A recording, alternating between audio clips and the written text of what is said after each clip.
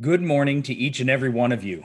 On behalf of all the board of directors, volunteer leaders, current and past members of ILMEA, and each and every one of our clinicians, I want to welcome all of you to the Illinois Music Education Association All State Experience. My name is Jake Stauffer, and I have the privilege of serving music education as the ILMEA state president. Now, I know that this isn't Peoria, crisp and cold in late January, and I sure know that not a single one of us thought a year ago that we'd be rolling out of bed on a Saturday morning and interacting with each other by way of Zoom or those of you on YouTube. I certainly never thought that my first speech to the organization would be without all of my best jokes, but just like everything else that we have engaged with and problem solved during the past year, we have found our way here together. A guiding principle of ILMEA throughout this pandemic has been to continue to offer high quality chances for students given our limited options and the continuously updated scientific guidance that we receive. While many of us would much rather be meeting in person and settling in for three great days of music making, we have not been presented with a way to do so in our current environment. So, our division presidents and state office staff went to work to bring a wonderful experience to you with clinicians from coast to coast, ranging from composers to jazz musicians, college professors to national recording artists, we sought out and secured top tier clinicians to help make today a meaningful musical opportunity for you. Today is about helping you, the finest musicians that the state of Illinois has to offer, discover even more ways to improve your art.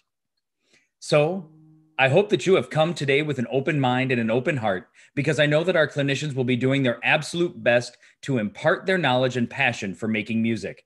I'm optimistic that we are nearing the end of our marathon with COVID 19, but I know that doesn't necessarily make us any less tired or any less discouraged. I cannot truly imagine how I would have made it through high school under these circumstances, and I certainly would have been different for the experience know that we all care about you, that I care about you, and that I firmly believe that days like today show the resilience and strength in each and every one of us to even just find the light in the darkest of times. Continue to share your talent, your spirit with each of us. We certainly need it. On behalf of ILMEA, I want to thank you for doing that, and I want to congratulate you for persevering to be here today.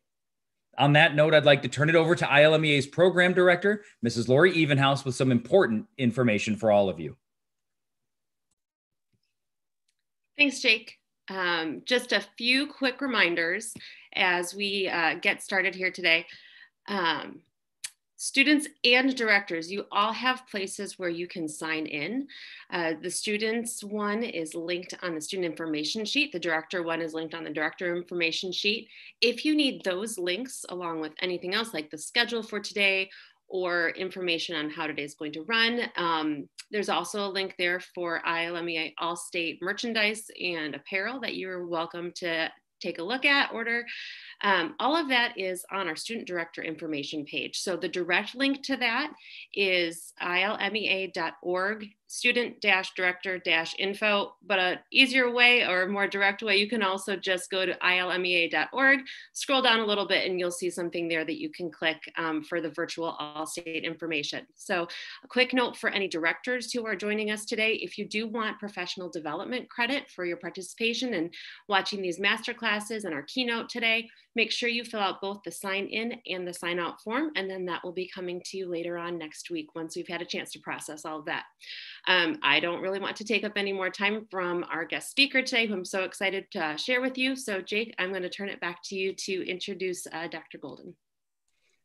All right, thank you, Lori. And now to truly start our day, it is my pleasure to be able to introduce our keynote speaker, Dr. Arris Golden. Dr. Golden is the Assistant Director of Bands and Associate Director of the Spartan Marching Band at Michigan State University. In this capacity, Dr. Golden teaches courses in conducting, marching band techniques, conducts the Spartan Youth Wind Symphony, is coordinator of the MSU Performing Arts Camps, and this only scratches the surface of her wonderful career and life spent in the service of music education. It is my great honor to introduce Dr. Arris Golden as the keynote speaker of the 2021 ILMEA All State Student Experience. Good morning, everybody. I am dealing with my second monitor to pull something over, but now I'm going to look at you. I'm, I'm so excited to be here and so excited to share space with you and your teachers today. I, I hope that you all are eternally proud of yourselves for making it to this all-state experience. I to to sound like a typical adult talking to you here for a second. When I was your age, I spent weekends just like this doing what you're doing, just interacting with other people, other musicians, and learning and growing. And, and I would argue it's one of the things that got me to where I am today. I would also argue that music is one of the things that has really helped me to remain myself and remain forward thinking and remain um, level headed, for lack of a better word, during this entire pandemic. You know, there's pieces of music that I played when I was in high school honor band, middle school honor band, played when I was in college, played when I was like involved in community bands as I was growing up that I really just went back to during this time. And it really just brought me to a calm place just because music is that place for me. it, it is that centering thing that allows me to clear space in my head and just consider all sorts of things. So again, and if I didn't say it clearly, I'll say it again now. Congratulations to each and every one of you that is here today. Your hard work has paid off, and again, I hope you're so proud of yourselves. You know, it, this this is such a unique experience, and it sounds like it's still going to be exactly that, and that you're going to get a ton out of today. So I, have done a few of these over time. You know, all of us have reported into Zoom to discuss things with people in their classes around the country and around the world. And what I wanted to do was kind of just share some of the questions and answers that I had from those sessions. But I also want you all, if you have questions, please enter them where you can, and I will be glad to answer them as I go through what I'm saying to you today and just share even more information that with you than I had planned. So, one of the biggest questions that I that I get and that I had for people like me when I was in high school was why did you want to be a band director? What was it that drew you to the profession that made you want to experience music in that way and be a teacher? And to be honest with you, it took me a long time to figure that out. It's like, why do I want to do this? And quite honestly, I avoided it for a while. So I'll I will tell you I have a full four-year degree in political science in addition to a full four-year degree in music education because partway through my music ed- my educational experience at UNC Chapel Hill, I was doing political science, but a new band director showed up. And that new band director and his wife, who was a music education professor, changed the direction of not only my life, but the lives of a lot of other people who were majoring in other things and came back to music because of them. And they're Illinois people. So if you know um, Dr. Jim Heil or Dr. Nancy Whitaker, those are my collegiate teachers who made me literally reconsider what I was doing. And they were so inspirational that they made me go back and take a look at, hey, this music ed thing might actually be the thing for me. And the thing that was attractive was the idea of working with other people and collaborating with other people in making music and just being able to take at the time I played my saxophone, my saxophone and work on something as an individual to a level of perfection that was satisfying to me. So if, if you're someone who has that experience, you know, make sure that you choose wisely as you go into college and really consider do I want to do music? How do I want to be involved in music? What does music mean to me as I move forward in life and move forward through college? Um, but because of their inspiration, I went back and reflected and actually returned to school and did a music ed degree. And I do not regret that choice in any way. And I would argue, you know, just because you've made a choice doesn't mean that it, it sticks forever, for lack of a way to put it. You can reconsider, you can reflect, and you can you can make another choice.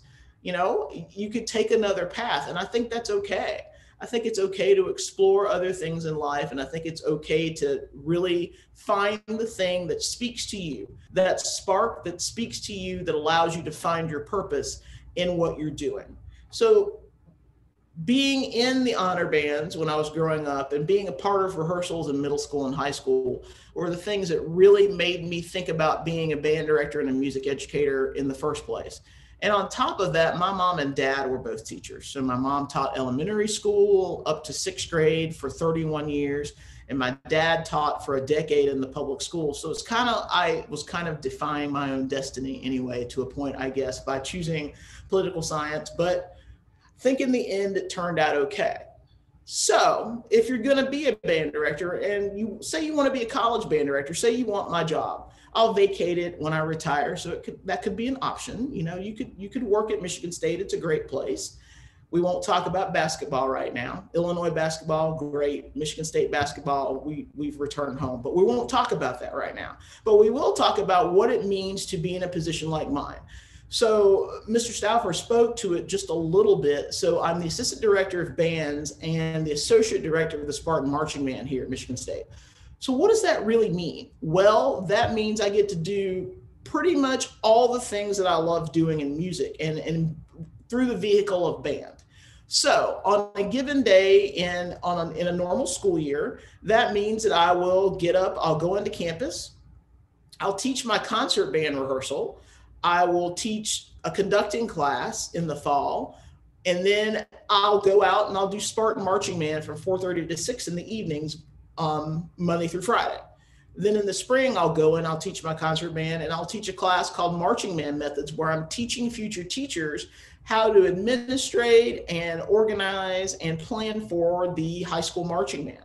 And that's within just the Monday through Friday work week. Well, what else do I get to do? Well, I get to work with graduate students who are in wind conducting, who want to learn to be college band directors. I get to teach the Spartan Youth Wind Symphony, which is uh, the high school honor band that we have on our campus that meets on Sundays for six times during fall, six times during spring semester. I get to leave campus and go out and do honor bands. I get to leave campus and go to schools and work with school bands. I get to arrange music for the Spartan Marching Band. I get to write drills sometimes for the Spartan Marching Band. I get to do all of these things. And on top of all of that, I get to interact with fans, fantastic students who are in music education or music performance. So my job is chock full, literally, of all the things that I love to do it, it's pretty amazing position, and I feel very fortunate to, to be in it, to be honest with you. So, say for example that you are going to go to college. This is another question that comes up, and you don't want to be a music major. That's not your plan, but you kind of want to still be involved in music. I think you should do that, and I think you should explore, you know, your senior year or junior year if you're starting at that time, what your options are at the universities in which you're interested. So, for example, most universities in the Big Ten, which is where MSU is, have at least two music major ensembles and at least one large uh, non-music major and that can be for band or orchestra or for chorus. So for example i could speak to michigan state. We have our wind symphony and our symphony band which are predominantly music major. We have our concert band which is a mix of music major and some non-majors. And then we have our campus band which is a one night a week meeting for that band that has like 150 people in it. So you make all sorts of friends from across the campus.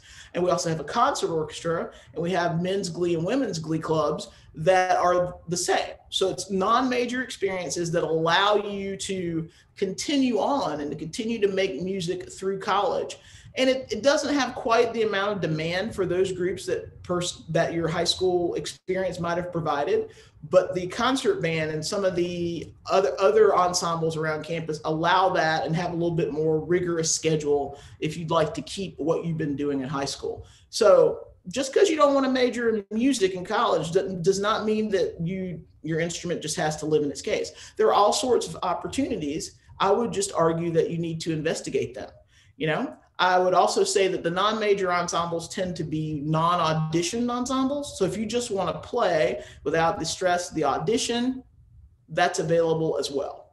Okay. So it's, it's a very rich environment. And, and I would say that's true of all the Big Ten schools. And I would say that that's really true of all the schools in the Midwest in terms of what is available for students.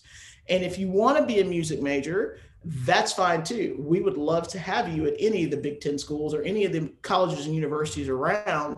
What I would say to you is to really start to investigate that process and investigate what it looks like at the schools you want to attend so that when you are ready to audition or ready to be a part of that process that you know what's what, what exactly is expected even make contact with the person who teaches your instrument called studio teachers. So if you are a trumpet player, clarinet player, flute player, if you're a soprano, singer, go find the people that teach and organize the, the learning for the people in the studios so that you can be in contact with them. A lot of them will even offer to teach you a lesson if you come up to the campus where they are, or if you're coming for a campus visit anyway. So there's all sorts of opportunity. What we do want you to do, or at least I know that I do, is just want you to, to continue playing music like forever, you know, even after you get out of college. There are community bands, there are all sorts of opportunities.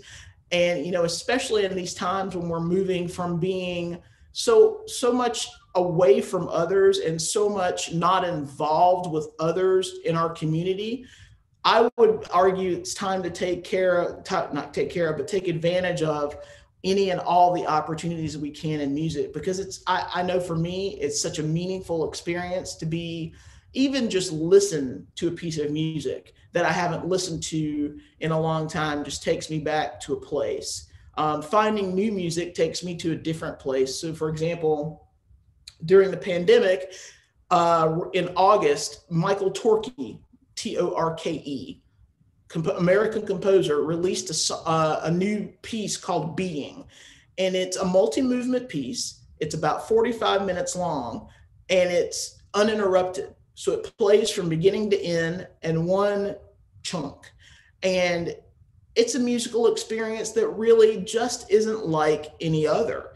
It's a minimal composition, which means what Mr. Torke has done is he's taken very small, either rhythmic or musical cells or motives, and he's linked them together in very inventive ways that just it'll the piece just spins forward in a way that you don't even realize it's been 45 minutes. So if you've never heard of that, if you want to hear some minimal music that's kind of almost pop oriented, Michael Torke being. I, I, if I had money for every time I've listened to that, I could probably buy myself a really nice dinner here coming up soon. So again, be involved in music. You are already. Again, today is your day. The, this event was created for you because your directors and the people in the the music organizations in Illinois just think the world of you and your abilities and your talents. So take advantage of that. Learn all that you can today. Be in music. Continue to be music in music for ever, hopefully. And you know, maybe at some point we'll I'll meet some of you in real life. I won't be able to know names and tell who you are because I can't see you on the screen right now, but if we're in the same space, please feel free to come up and introduce yourself and go, Hi, Dr. Golden. You spoke to us in, Honor Band in 2021, so on and so forth, and I'd love to talk to you. Um, now, I hear that there are a few questions that we have. So I think I'm going to get those shared here. There you go. Okay. All right. So, um, one of the questions you mentioned um, opportunities for students who are musicians at the higher education level. Um, could you talk a little bit about what it looks like to teach music at the higher ed level? So um, I think a lot of times we think just ensembles, but I know, I mean, there are there's more than that. Um, could you talk a little bit about you know some of the different teaching opportunities at, at the um, college and university level? Absolutely. So I'll again I'll speak to Michigan State because that's where I work. You know, so there are three of us who do just strictly bands. Um, then there's two people that do strictly orchestra. Then there's a whole um, group of people that do strictly chorus and choral conducting. And then there's a set of people who do strictly music education. They just teach music education students about music education and how to be teachers. Then there's a whole other group that teaches the studio teachers that teach individual instruments or individual voices. So it's there's a lot that and I should mention our jazz program. And we have a really great jazz program that there are people that just specifically teach the art of jazz and the art of jazz ensemble and that kind of thing. So there's all sorts of we have all of those positions to like people who literally just come through the building and tune our pianos. Like there's a person, we have that many pianos. That person manages the tuning and the tuning schedule for all of that. So it's there's tons of opportunities to teach all sorts of different things. And just because you teach one thing doesn't mean that you're siloed away from the other things. So I teach the bands, but I also teach music education courses. And so do my colleagues. So there's all sorts of, and so do the choral conductors and the orchestral conductors. So there, there's a lot that goes on in a college of music, school of music setting that is not available or like readily like seen by the eye. It's not necessarily visible because it's so layered. But if you're really curious, go to a School of Music website, especially in the Big Ten area, and just look at the depth of like people and faculty and opportunities for for different genres of music and and different you know uh, professions within the profession that exist for people to participate in. So, thinking about your position then at MSU, what has this year looked like for you? Um, what does it look like for you as a as a musician? What does it look like for you as an ensemble director? I mean, because every everywhere everyone's trying their best. What does that look like for you? So for me this year, I've done everything but conduct a band. Literally, I've taught all my classes. I was talking to y'all earlier. I manage the virtual ensemble because we have a group of students who are like, we don't want to play in the ensembles right now. That that I've worked with and curated a, a different type of curriculum for them. Uh, but my other two colleagues in band are doing small ensembles, so we're allowed to have uh, groups of up to up to 15 wind and percussion players and we've just just done chamber music the entire well let me take that back the graduate students have done it the entire academic year. The undergraduate students here were not allowed on campus first semester just to keep our population density down and to make sure things were safer for graduate students who had things like labs and like terminal projects that they needed to complete. And then spring semester, undergraduates have come back to campus and they've just started to participate in these small ensembles as well. So it, it's, again, I've done everything but conduct a band. My job has been completely normal like except for that. And I will tell you what I do. One of the things I miss the most, I miss my concert band, but I super miss Spartan Youth Wind Symphony and meeting with them on a on a Sunday basis because they are they're fun people. They're your age. They're high school age students, so they come to campus that one day a week, and we really we have a I feel like a really great time working together, putting concerts together, and so on. So normal, but not normal. That's how my life has been. that, seems, that seems about right. um, so we had one last question, and this might overlap a little bit with um, some of what you've talked about already. Um, so a lot of our students are starting starting to or in the depths of planning for college. So what it, what advice would you leave them with if they're not sure, certain what path they want to take? They know they want to do music, but might not be certain what that looks like professionally. Um, so, like I said, this might overlap a little bit, but what advice would you leave the students as they start to think about their lives as a musician moving forward? It, it, I would argue that if that is your that, that's the thing that sparks you, that that is the thing that makes you feel purposeful as a as a person in the world, then you need to do that thing, or you're gonna you'll circle back to it. It will come back I am living proof that you can try to, but no, you're going to circle back because the thing that to me the thing that gives you the feeling that you're involved in in the world and in society and contributing is probably the thing that you should do because that's going to be the thing that allows you to be and support you being who you are. That's my opinion.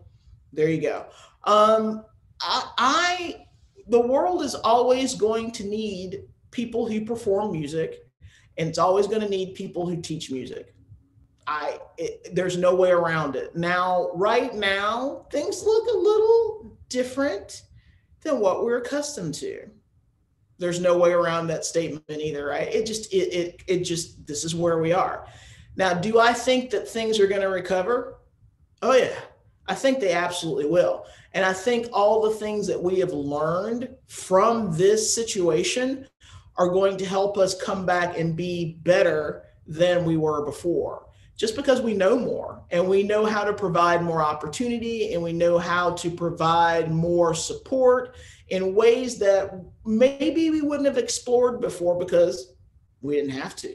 But now that we have i know i know for me as a teacher there's like about a list of 50 things that i've learned that i'm like oh i'm going to use that. Just wait this is going to get implemented. This is going to be awesome. This is what it's going to look like. So for you all, if you're considering music, performance, or ed music education, you're going to be coming in as all the people that are like my age are like rejuvenated and kind of like, let's go, let's do these things. So it's going to be, I think, a really unique learning environment. And I think we're all going to benefit from this. And then if you're teaching or you're performing, you're going to be able to go out into the world and share all the things that we share with you. So just everything's going to be reinvigorated. I'm, I'm excited about it to the point where I'm like, can we just get this done? Can we move along? Can we, can we, can we? Okay, I'll stop. But seriously, I think it's I think it's a uniquely um like positive, like for moving for just forward motion. It's it's it's at the end of the tunnel, so we know it's there as we all know, we just have to get through the the end of what we're experiencing now to get to that that end of the tunnel. All right. Well, I want to, on behalf of ILMEA, I want to thank Dr. Golden for just an absolutely wonderful experience this morning, getting a chance to share some wonderful experiences in her life. Uh, I would also like to thank Mrs. Darcy Nendza, Executive Director of ILMEA, and Mrs. Lori Evenhouse, Communications Manager uh, of ILMEA, for making this day possible. Their dedication to all of us and their countless hours of work behind the scenes have been truly the engine that have made today go. So it's time to get started. Students, please take this time to transition to your first session of the day. We hope you have a wonderful experience and thank you all for participating in the ILMEA All State Student Experience. Thank you all, stay safe, and take care.